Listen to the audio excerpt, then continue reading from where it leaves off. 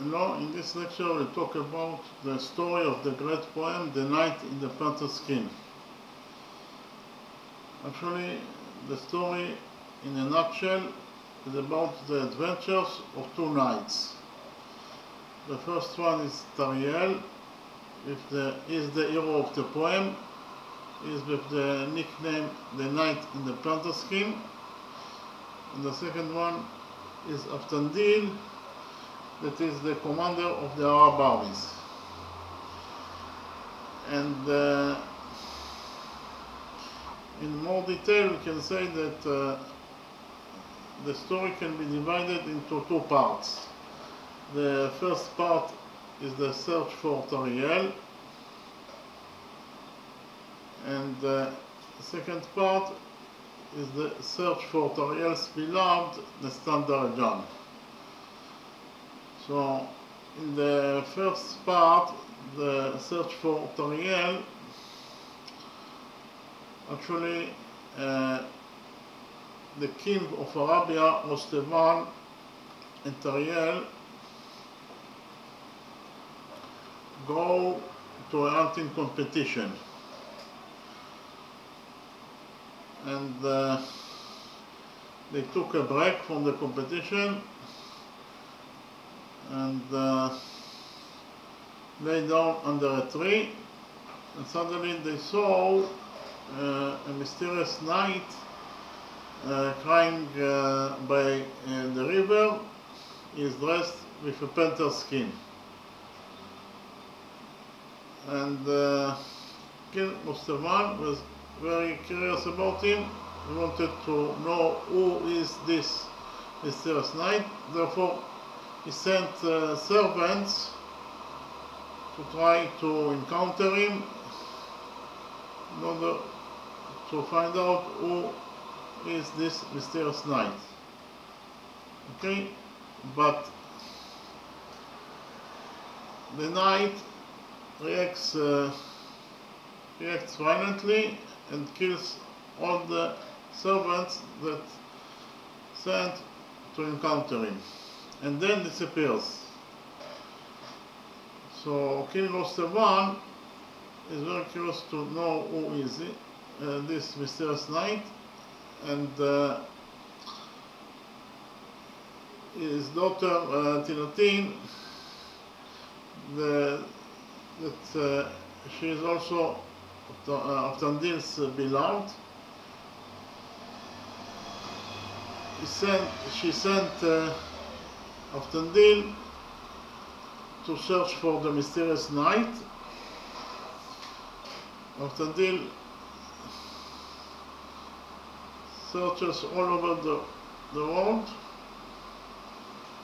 and he finds the mysterious knight after two years and nine months. And the mysterious knight tells Avtandil that his name is Tariel he was the commander of the India's fleet and uh, he was uh, in love with the daughter's king, Nestan Darajan, but she was abducted by the demon king and uh, from uh, the moment that she was abducted, uh, Tariel becomes very depressed and uh, he goes uh, to the wilderness uh, with uh, Asmat that, is, that uh, she is the servant of uh, and Avtandil is very excited from Tariel's story and uh, he tells Tariel that he will help him to find his beloved, Nestan Darajan. Okay? So that is the first part of the story. The second part of the story is the search for Tariel's beloved, Nestan Darajan. Avtandil with, with Tariel and with uh, Pridon, that is the king of uh, or the ruler of Mulgazanzar, and uh, with an army of 300 soldiers. Uh, went to uh, rescue uh, Nestan from her captivity by the Kajis. Actually, uh, the Kajis country is a fortress is, and it is impossible to penetrate the, this fortress because uh, of the fact that uh, uh, they have very strong soldiers. But uh, uh, Avtandil, Pridon, Tariel and 300 soldiers did the unthinkable and they succeeded to invade the fortress of the Kajis and to rescue Nestan from her captivity. And the story ends in an happy ending.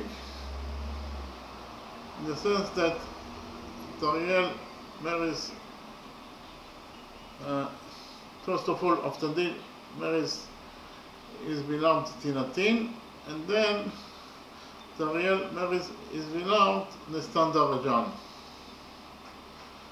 Okay? In the next step, I will tell you the story in detail. Okay, so the story can be divided, as I already mentioned before, the story can be divided into two parts. The first part is Avtandil's quest for Tariel, the titular knight in the, the knight in the panther skin, and the second part is Avtandil's quest for Nestan Darajan, Tariel's love. So in the first part, the search for Tariel, the king of Arabia, Rostevan, has no sons and confers uh, the kingship on his only daughter, the beautiful and wise uh, Tinatin.